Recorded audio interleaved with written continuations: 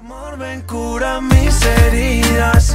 Oh, espero que no estés perdida, vida mía. 10 de la mañana, 15 minutos. Tenemos una actual temperatura de 21 grados y una humedad del 42%. Bueno, realmente estamos sorprendidos con esta noticia que les acabamos de contar hace un rato, que tiene que ver aparentemente con una investigación que está realizando la justicia, que tendría como involucrado a un docente de una escuela secundaria de nuestra ciudad, en el cual se investiga un delito sexual, podemos llamarlo de esa manera, donde aparentemente existirían conversaciones, donde se le pediría a los alumnos fotos este, de, de las alumnas, mujeres desnudas. Un hecho realmente que la verdad que no se puede creer. Por eso vamos a consultar al doctor Ariel Tempo, es el fiscal de la UFI 4 del Departamento Judicial de San Nicolás, a quien tengo el gusto de saludar esta mañana. Doctor Tempo, buen día. Buenos días, ¿cómo te va? Gracias por habernos atendido. ¿eh? Por nada. Bueno, a ver, ¿nos puede clarificar un poco concretamente qué es lo que está investigando la Fiscalía? Sí, es una denuncia formulada por las madres de dos alumnas de la Escuela Industrial número 1, Ajá. eh, compañeras de primer año del Polimodal, que eh, casualmente les ha ocurrido una situación que involucra a un docente de esa misma escuela. Esto tiene que ver con eh, ciertas eh, acciones, eh, conductas o maniobras de este docente en relación a las menores, eh, el que a través de medios tecnológicos eh, ha enviado mensajes a, a las menores con fines predominantemente sexuales. Ajá. Esto tiene que ver con un delito que está previsto por el artículo 131 del Código Penal, que se llama delito de grooming, eh, y es la captación precisamente por medios tecnológicos de menores de edad con fines sexuales. Aparentemente el profesor, cuya identidad por ahora no, no es prudente revelar, eh, eh, mantenía conversaciones con, con las menores, eh, pidiéndole que se acerquen a su casa, que vayan a buscar ciertos trabajos prácticos, que le envíen fotografías, eh, y esto obviamente las menores eh, lo han puesto en conocimiento de sus respectivas progenitoras, eh, que fueron las que se encargaron de eh, formular la denuncia en la comisaría de la mujer. En realidad, primero hablaron con los directivos de la escuela para ponerlos en conocimiento de lo que estaba ocurriendo y los directivos fueron los que le, le aconsejaron acercarse a la comisaría de la mujer a formular la denuncia. Una vez que formularon la denuncia, me remitieron inmediatamente copia de las mismas vía fax, yo las analicé, inmediatamente advertí que la persona denunciada eh, ya contaba con antecedentes en esta misma fiscalía eh, por otro tipo de hechos también relacionados contra la integridad sexual de las personas. ¿Pudo haber ocurrido ese hecho en San Pedro hace muy poco tiempo? El docente es de San Pedro, exactamente. Nosotros hicimos en este hecho anterior allanamientos en San Pedro que después culminaron en la localidad de Varadero donde eh, actualmente estaba residiendo. Pero no por un hecho ocurrido en Varadero, Si no en San Pedro. sino exactamente, tampoco en San Pedro, sino que eh, en contacto con una menor de, eh, de la localidad de Adrogué. En este primer caso se trata de eh, hechos de pornografía infantil eh, que se refieren a la producción, comercialización o representación de menores de 18 años de edad dedicados a actividades sexuales. Es otro delito distinto previsto por el artículo 128, Ajá. pero en el que también este docente había mantenido eh, conversaciones con, con, con una menor de 14 o 15 años de edad. Esa, esa causa está en plena etapa investigativa, eh, ya se habían hecho allanamientos, a, este, a esta persona se le habían secuestrado absolutamente todos los dispositivos electrónicos con los que contaba, me refiero a telefonía celular, notebook, computadoras, pendrive, eh, bueno, todo lo que pueda almacenar eh, fotografías, videos, eh, o todo lo que nosotros necesitemos como material probatorio. Y bueno, precisamente estábamos esperando la realización de las pericias de todos estos dispositivos para ya, eh, por auto fundado, traer a esta persona a prestar declaración en carácter de imputado.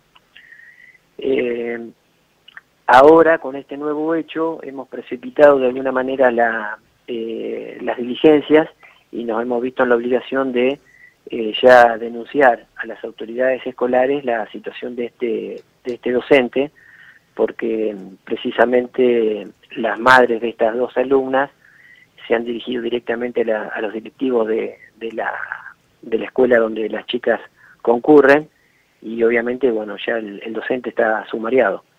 Doctor, eh, yo le quiero preguntar algo. con la investigación anterior que ustedes habían realizado, ¿esta persona no había sido denunciada ante las autoridades escolares? Porque pregunto, ¿desde cuánto hace que él trabaja en la escuela industrial aquí en Varadero? ¿Ya venía con este antecedente? No, bueno, precisamente hice la aclaración que esta segunda causa precipitó que, que denunciáramos la situación ante las autoridades escolares porque en el primer hecho, y hasta tanto no se le reciba declaración en carácter de imputado, se trataba de un delito en el cual no lo involucraba a él como docente. Eh, y esto nos viene a nosotros a través de un reporte que mm, eh, nos llega eh, por una asociación que se llama Missing and Exploited Children, en el cual aparece en las redes sociales la fotografía de una menor eh, exhibiéndose obviamente eh, en una actividad sexual de carácter explícita. Eh, ¿Con él? Con lo, con lo cual no lo involucraba directamente en su actividad como docente, pero precisamente a partir del momento en, el cual nosotros lo hubiéramos indagado, ahí sí íbamos, teníamos la obligación de poner en conocimiento a las autoridades escolares para saber que tienen un docente que ya ha sido procesado, indagado por la comisión de un delito eh, referido a la integridad sexual de las personas. Bueno, pero digamos, pero a ver, porque el hecho de este, ser docente, ser médico, ser un trabajador común, digo, de ser un degenerado, no está, este, no, no, no es una condición ser un profesional, a eso me refiero. No, por supuesto que no, no, no. Eh, evidentemente que no. Pero ¿qué pasa? Eh, como desarrolla su actividad en un establecimiento escolar donde hay menores de edad y ante la comisión de eh, ante la participación del mismo en, la comisión de un delito de estas características, a partir del momento en que nosotros lo decidimos tomar la declaración en carácter de imputado, hay que comunicarle. Digo esto porque también hay que ser cauto y precavido, porque muchas veces se, en este tipo de delitos, me refiero al primero que estamos hablando, eh, como se cometen a través de las redes sociales, muchas veces se crean perfiles falsos y no sabemos precisamente si se trata o no de la persona que investigamos. Ahora, ante la participación de este docente en este nuevo hecho delictivo, eh, no tenemos este, la menor duda de que es la misma persona la que está cometiendo esta clase de delitos, ¿está? Doctor, ayer eh, se hizo un procedimiento aquí en Varadero.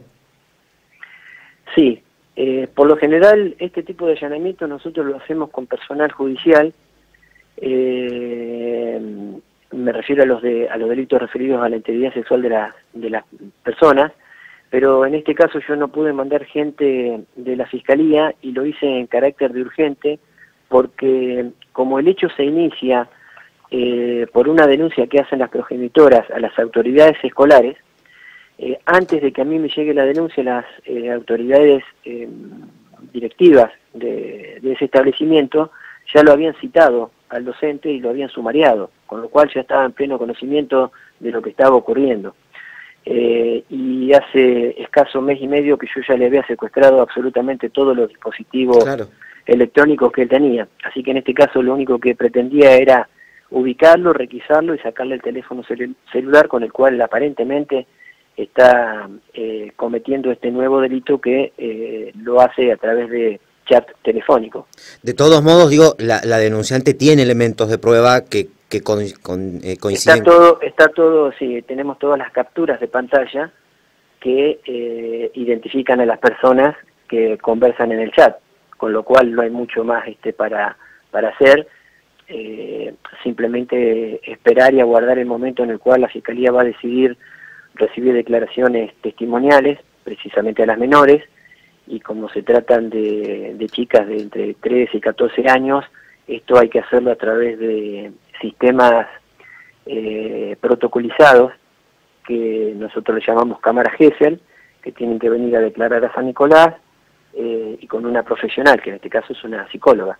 porque hay que preservar eh, esa declaración para un futuro proceso Claro. y un juicio oral en el cual las víctimas no tienen que ser eh, nuevamente molestadas ni revictimizadas por este tipo de hechos. Son menores, recordamos esto, alumnas de nivel Tal secundario. cual, Mm. de primer año, primer año polimodal creo que es. Ajá. No, no, no, no, no, no conozco Varadero, pero es una escuela industrial, me imagino que debe ser un primer año polimodal. Sí, sí, exactamente. Eh, doctor Tempo, lo último para preguntarle, en los mensajes en algún momento eh, las extorsiona a la chica en el a las chicas en el sentido de eh, a cambio de, por ejemplo, la calificación de la materia, digo, eh, eh, obtener esas imágenes que pedía? Sí, no es el término preciso de hablar de extorsión, podría ser una coacción Ajá. que estuviera coaccionándola diciéndole eh, mm, hace esto o deja de hacer lo otro o mandame esto eh, o nos encontramos en tal lugar por Qué va. supuesto a cambio de eh, ciertos trabajos prácticos o ciertos este, beneficios que por ahí las chicas podrían este, entusiasmarse con la situación. Doctor, ha sido muy gentil por habernos atendido en la mañana de hoy. ¿eh?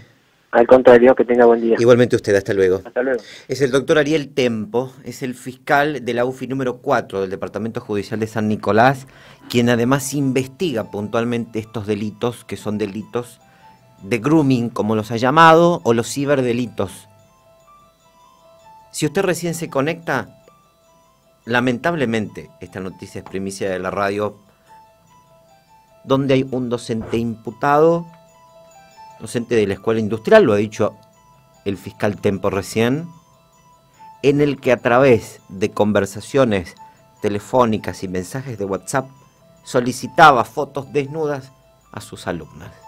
Fue denunciado por los padres que le comunicaron también al establecimiento educativo.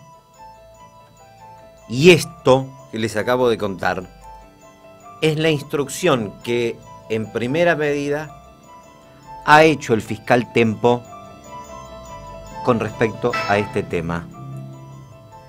Episodio que recordaba recién y enseguida se lo vamos a volver a preguntar. Cuando Martín Pérez nos contó hace algún tiempo, aquí en esta radio, lo que involucraba, recuerdan, a un sujeto que vivía en Varadero, pero que era de San Pedro y que había cometido un delito o estaba siendo investigado o había sido investigado por un delito de pornografía infantil. Que o casualidad es esta misma persona y o casualidad la causa recae en las manos del mismo fiscal con el que acabamos de hablar. Eh, vamos a hacer una pausa porque realmente no puedo creer lo que hemos estado contando en la mañana de hoy. Estar informado, hay que estar en contacto con tu radio.